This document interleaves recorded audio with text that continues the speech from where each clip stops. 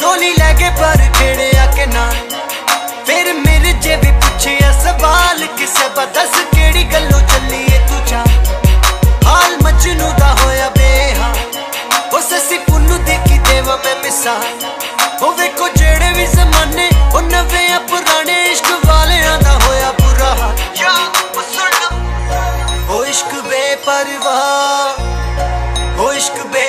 ਬੇਪਰਵਾਹ ਉਹ ਇਸ਼ਕ ਬੇਪਰਵਾਹ ਜਿਹੜਾ ਕਰਦਾ ਵਫਾ ਤੇ ਉਹਨੂੰ ਮਿਲਣੀ ਸਜ਼ਾ। ਮੈਂ ਕਿਹਾ, ਉਹ ਇਸ਼ਕ ਬੇਪਰਵਾਹ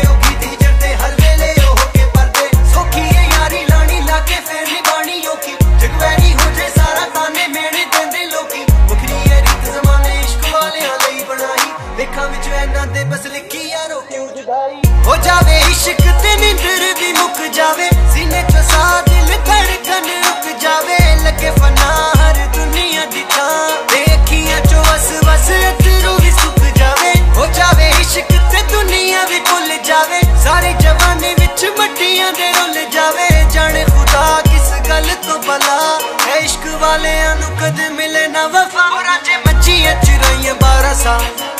ਢੋਲੀ ਲੈ ਕੇ ਪਰ ਖੇੜਿਆ ਕਿ ਨਾ। ਫਿਰ ਮੇਰੇ ਜੇ ਵੀ ਪੁੱਛਿਆ ਸਵਾਲ, ਕਿਸੇ ਬਦਸ ਕਿਹੜੀ